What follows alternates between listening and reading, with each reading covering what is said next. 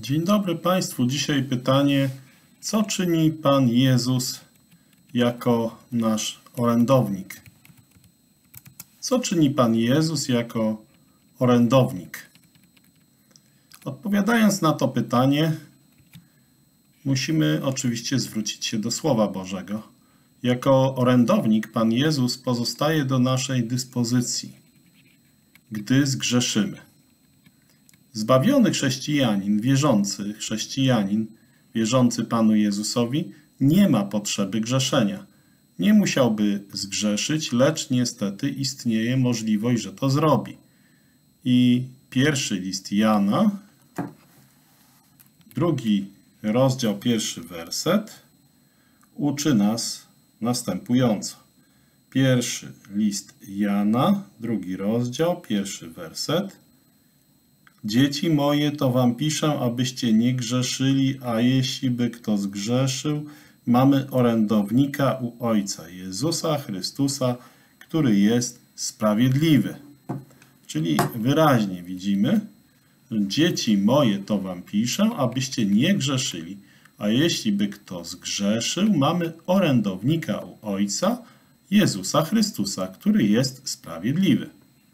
I to jest tak jak Słowo Boże mówi, szukajcie najpierw Królestwa Bożego i sprawiedliwości Jego, a wszystko inne będzie wam dodane. Sprawiedliwością Królestwa Bożego jest osobiście Pan Jezus Chrystus. Pan Jezus Chrystus jest sprawiedliwy. On jest tym, który w sposób doskonały nadaje się do tego, aby wziąć, aby wziąć w swoje ręce naszą biedę grzechu, gdyż On jest sprawiedliwy. Sprawiedliwy jest Pan Jezus. To jest właśnie sprawiedliwość się po prostu objawiła w doskonały sposób Panu Jezusie Chrystusie. Bogu niech będą dzięki, że On nie tylko działa w naszym imieniu, gdy wyznamy nasz grzech, ale również przejmuje inicjatywę z chwilą, gdy tylko zgrzeszymy. Takiego przyszło nam mieć mediatora w niebie. Zatem była to odpowiedź na pytanie, które brzmi: Co czyni Pan Jezus jako orędownik?